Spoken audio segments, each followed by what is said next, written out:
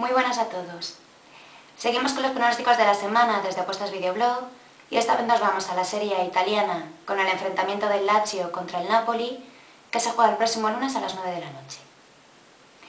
Con cuatro victorias, cinco empates y cuatro derrotas, el Lazio se sitúa en el octavo puesto de la clasificación con 17 puntos frente al Napoli, que se alza en el tercer puesto con nueve victorias, un empate y tres derrotas. Como local, el Lazio lleva una temporada muy buena con solo una derrota en sus últimos 11 partidos, quedando los restantes con un empate y nueve victorias.